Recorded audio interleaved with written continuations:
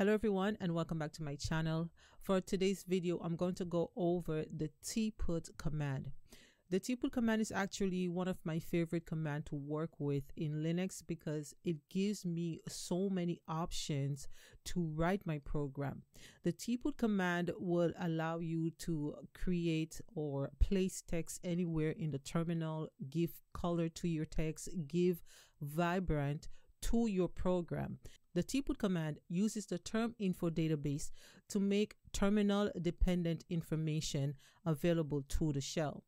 And the terminfo used to be called termcap. The termcap or the term info is a database that holds the capability of the terminal or what can you do with the terminal. So if I go over to my terminal and I type in echo dollar sign term then we see that our terminal type or the name of our terminal is xterm and that suggests that our terminal behaves like the classic X terminal emulator program. Tput colors shows that we have 256 colors available for us to use when using the tput command. So to see some of the colors, I'm going to do a loop. So for i in and I want to use the first 10 colors. So I'm going to say from 1 to from 1 to 10 actually I'm going to close up this space right here to make it more readable. And I'm going to say do and tput set AF set AF will set the foreground colors for us. So set AF will only show the colors for the text itself and not the background. If you want to make your background a different color, you can use set AB. So I'm going to print out all of the colors and I want to print the famous hello world and I want this to print about 10 times and then I'm going to end up with my done statement. When I hit enter, you see the different colors that you can get or the different colors you can make your text when using the tput command. So you can address the colors by their numbers. So you can see tput set AF number 5 and that will give you pink or tput set AF number 9 and that will give you like that reddish color. Now on the terminal you have different columns and lines on the terminal. So the columns go across and the lines come down. So if you want to know exactly how many columns that you have on your current terminal right now, you can use tput cols and it tells us we have four 114 columns in our current terminal. If you want to see the lines, you can see tput lines, and we have 35 lines in our current program. Now, the best way to use tput is to use tput in a script. So I'm going to go ahead and clear my screen, and I'm going to create a file called tput.sh. So when I use the vi command, the vi would automatically create that file for me. So I'm going to hit enter and we get an empty file. So the first thing that I'm going to do, which I always does in my bash script, I'm going to put in the shebang. So first I'm going to press I for insert mode and then I'm going to do exclamation pound slash bin slash bash. So now I have my shebang. I can go ahead and write some of my logic. Now Tput have this option called blink and most people, when they're trying to get the user attention, they probably want to blink some text. So if you want to blink your text, you can use the tput blink option. So what I'm going to do, I'm going to create a variable called blink and I'm going to assign it to tput blink. So I'm going to say blink equals to dollar sign tput and I want to use the blink option. I also want to reset the text from blinking so I'm going to say tput SGR0. SGR0 will reset the text so it will not blink. If you do not reset it, once you run your script or run your program, all of the text is going to be blinking and you don't want that. You only want a specific or a particular text to be blinking in your program. So for this program, I'm going to create something really short. So I'm going to just print, um, enter your name and take in the name from the user. And then I'm going to print back the name to the user on the terminal. So to do that, I'm going to use the printf statement instead of the echo statement. So I'm going to say printf and percentage s and for this statement I want to use my blink variable that I declared right here. So I'm going to say blink and I want to enter the text, enter your name, and then for that, I want to reset after the user has entered a name.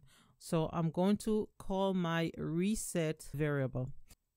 So now we're going to take in the user's name. So we're going to say read name, and then we're going to echo back out the name that the user has entered. So I'm going to say hi, and I want dollar sign name. Escape colon WQ to save and quit. Before I run the program, I have to give it permission. So I'm going to say chmod 755 and I want tput dot sh and everything runs good. So now I'm going to say bash tput dot sh hit enter and you see that the text now on the screen enter your name is blinking.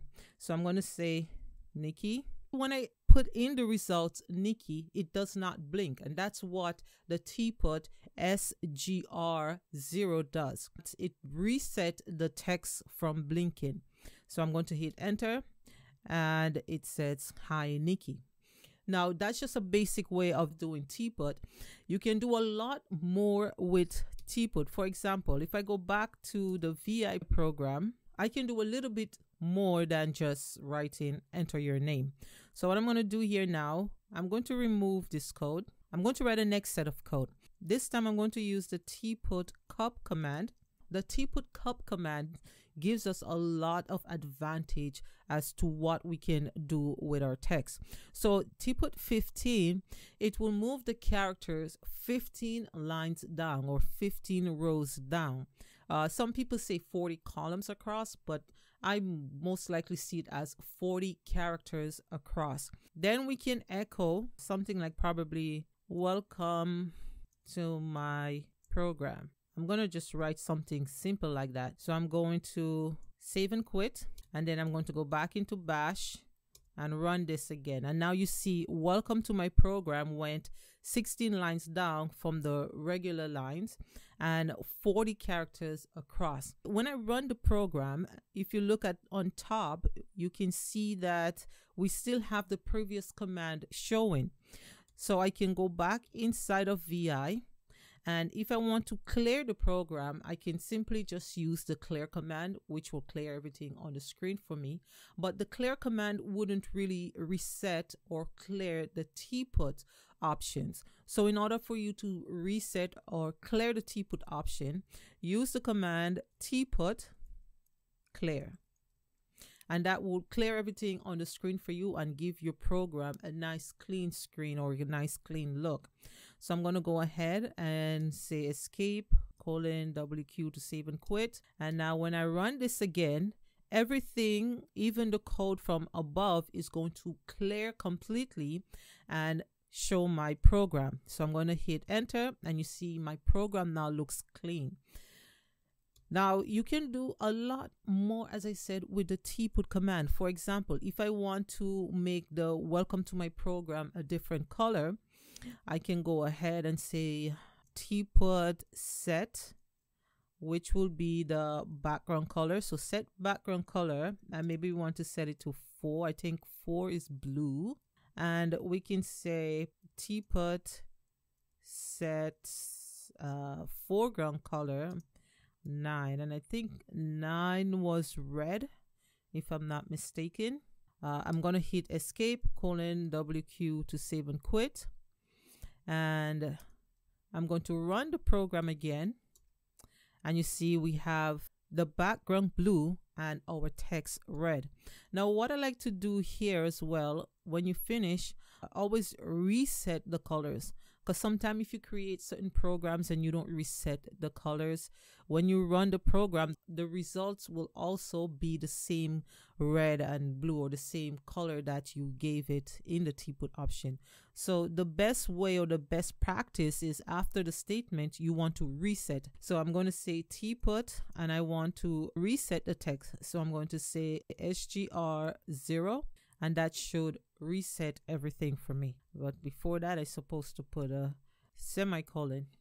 Now, one of the most useful ways of using tput, for example, if I want the user to enter some type of password to get into the system. So what I'm going to do above, I'm going to declare a variable called passwords. I'm going to say password and I'm going to have my password equals to 12pwd. So under the welcome statement, I want to add enter password. All right, so I'm going to say echo enter password. So we're going to give a variable USR PWD and we're going to give a logic after that. So the logic would be if dollar sign USR PWD so if it's equals to dollar sign password, which is the password that I declared right here. So if it's equals to that, then we're going to use the cmatrix animation. Else, we just want to echo, maybe sorry, wrong password and then the famous fi. Save and quit. And I'm going to run the command again. It's okay program. We can still do a little bit better with um, placing the text in the proper way. So we can put the enter password just on the same line with the welcome to my program statement. And probably we want the user to enter the password. So have that blinking thing on the same line with enter password. So let's break the program and go back into VI. And for that, what we're going to do for the enter password, we're going to add a tput statement. So we're going to say tput cup. This time we want it to be on, uh, let's put line 17 and we want it 40 characters across as well. And for the user to input the password, we can put it on the same line as well as the enter password statement.